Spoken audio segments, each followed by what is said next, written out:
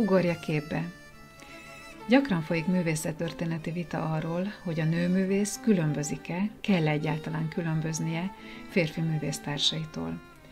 A művésznőnek, akiről ma beszélni fogok, elég határozott véleménye volt ebben a kérdésben.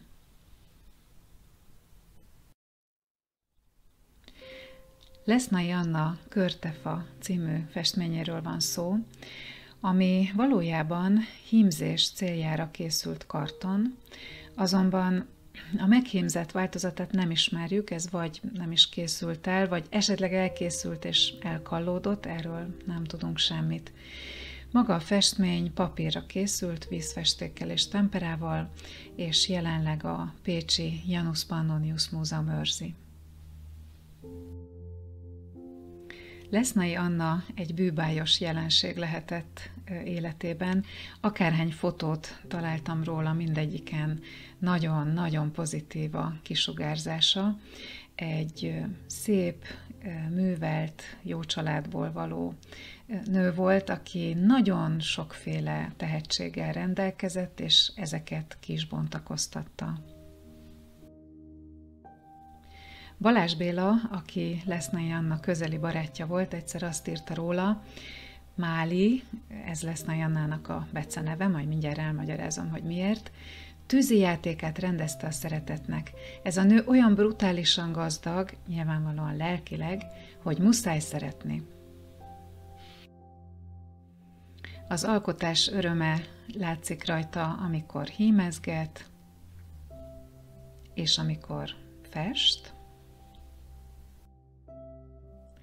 és az időskori fotói is elbűvölőek.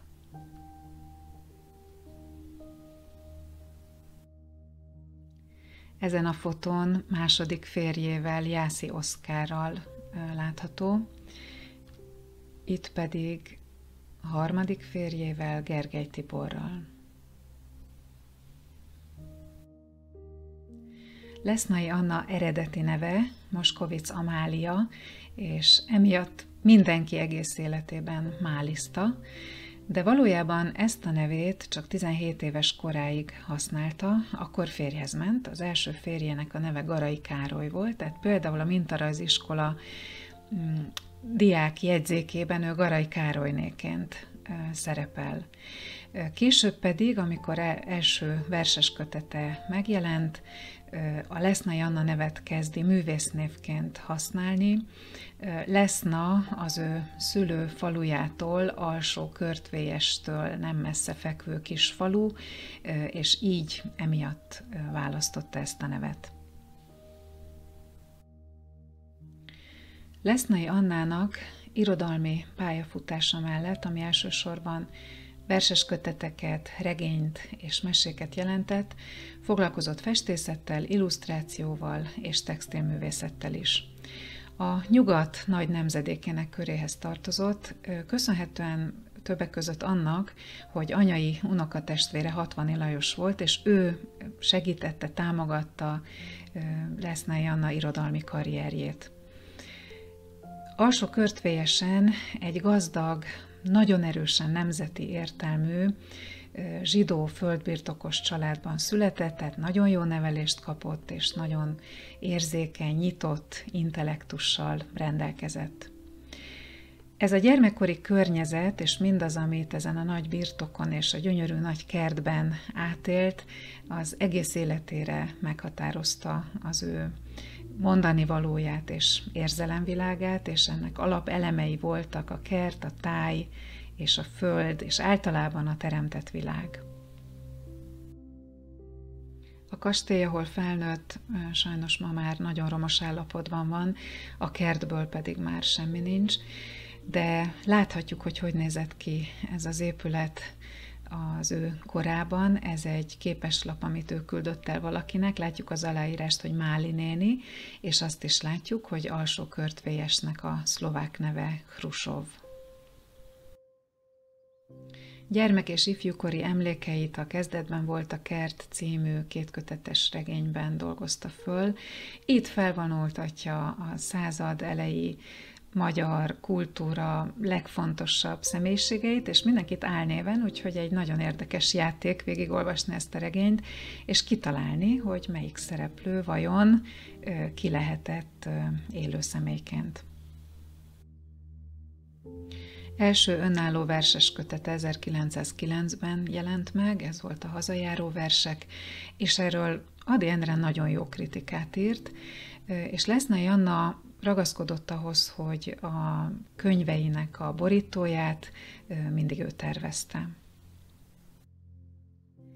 Képzőművészeti pályafutását 1905-ben a Budapesti Mintarajziskolában kezdte, aztán Münchenben járt Hollosi Simon magániskolájában, és Párizsban pedig Lucien Simon magániskoláját látogatta.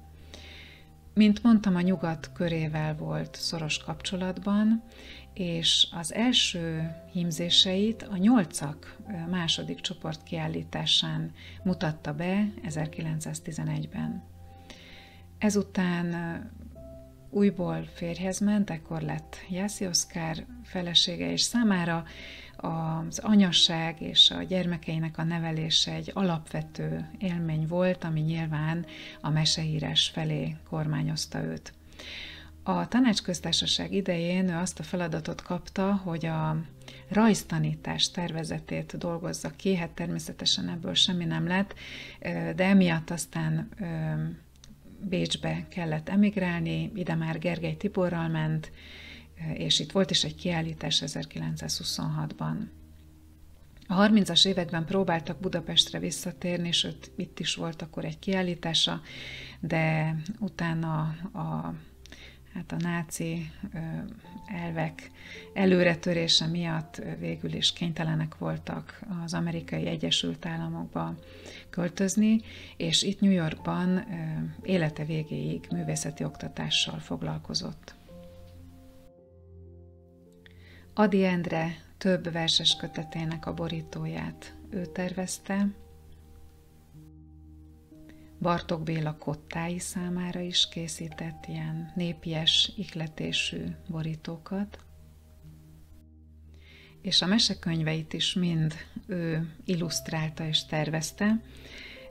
A mesekönyveinek a címe is nagyon kedves, a Pólyás Baba napjai, Mese az eperszemnyi szívről, a kiskék pillangó utazása, és ez a mese a bútorokról és a kisfiúról, ez egyébként 1918-ban jelent meg. Megjegyezném, hogy a címlapon ugyanúgy egy körtefát látunk, mint azon a festményen, amit majd mindjárt alaposabban megnézünk. Hímzései népi ihletésűek, de szecessziós stílusúak voltak, Jellemző visszatérő motivuma a zsúfolt virágcsokor valamilyen dekoratív edényben, nagyon rafinált, artistikus, összhatásúak ezek a hímzések, és a motivumok gyakran szimbolikus jelentést is kapnak. Hímzései közül talán ez a legismertebb, ez az adipárna.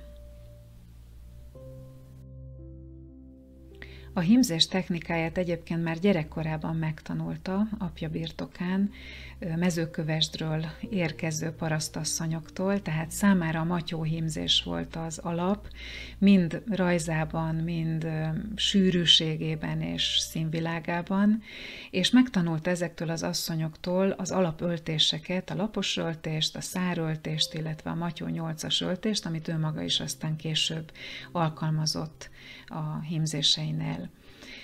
Lesznai Anna színvilága ennél egy kicsit kifinomultabb, sokkal rafináltabb színeket használ, de a sűrű virág motivumokat egyértelműen a matyó mintákból vette át.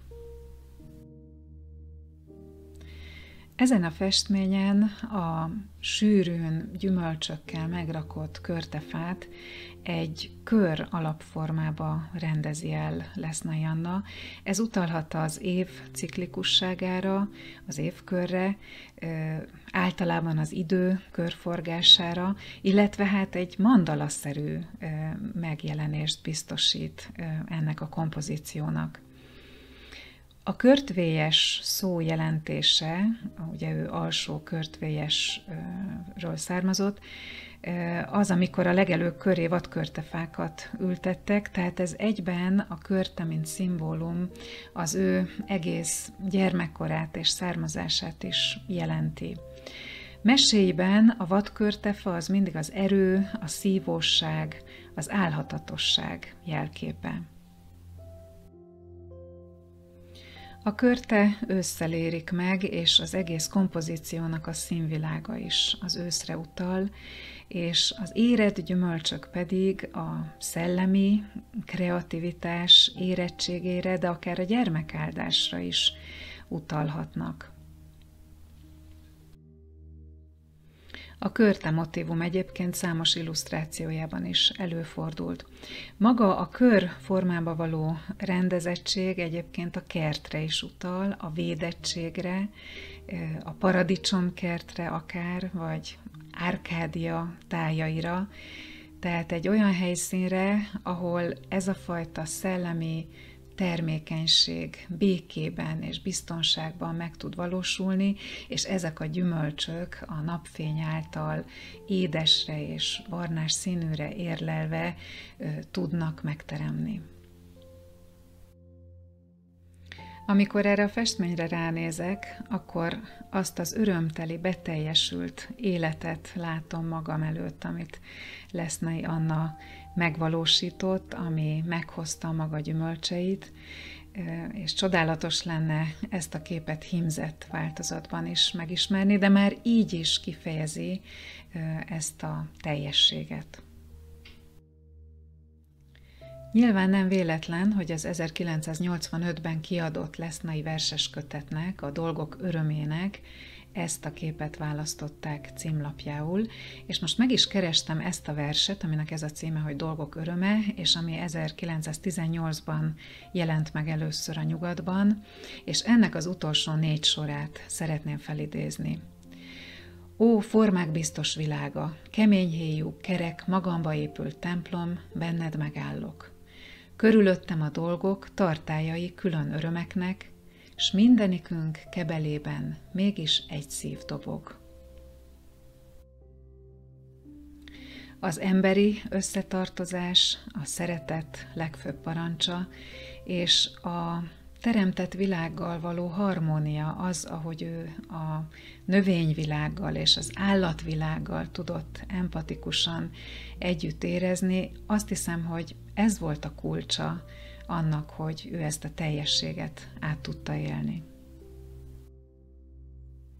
Végül keressünk választ az elején feltett kérdésünkre, hogy lesz Anna szerint vajon mi is a különbség a férfi művészet és a női művészet között. Ő erről a következőket írta. Egész életemben nem akartam mást, mint nem férfi művészetet adni. Az asszony ne akarjon jobbat csinálni, hanem mást.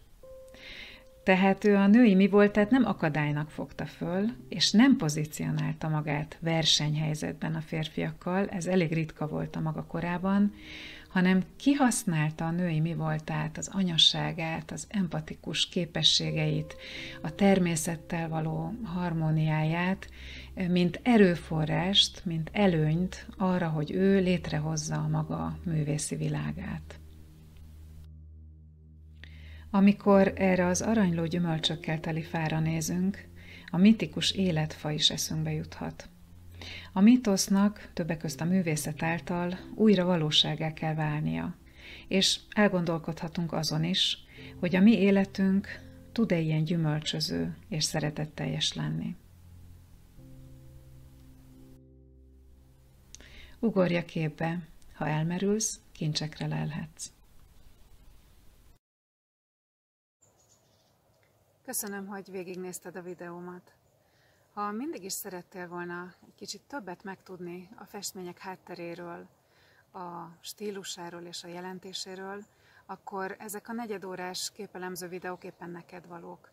Keresd meg a többit is itt a csatornámon.